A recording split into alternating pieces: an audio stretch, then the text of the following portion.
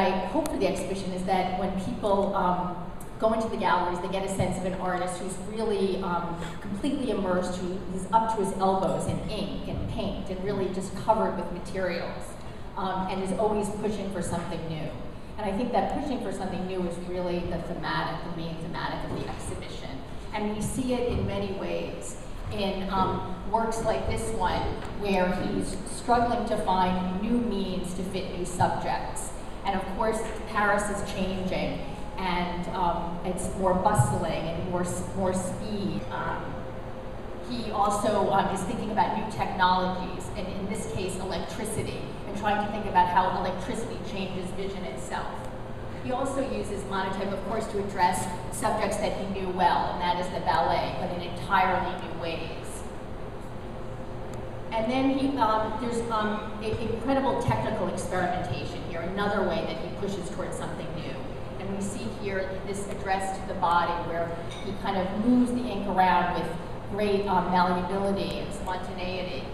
And then um, we also see it in these incredible late landscapes where he's discovering a, really a new kind of art form, um, a kind of art that, that a, a, kind of form that really had never been seen before, verging on abstraction.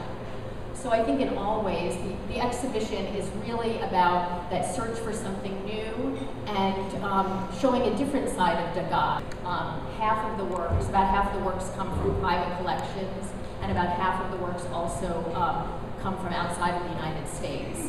So together, these monotypes and related works um, where we see um, the impact of the experimentation in monotype in paintings, um, other kinds of drawings, sketchbooks, all of that together really show uh, this different side. You know, I think you, you think of Degas as someone who um, you know, was looking at Ingres and was, was thinking about kind of precise drawing, and so what, what monotype does for him is it opens it up and it allows him to try something entirely new. And he's not bound at all by convention, and I think that that's really important, that he wasn't, um, as much as he looked um, at works from history, he was never bound by it. And this, um, that, um, that, that willingness to go beyond what he knew, I think is the most um, striking.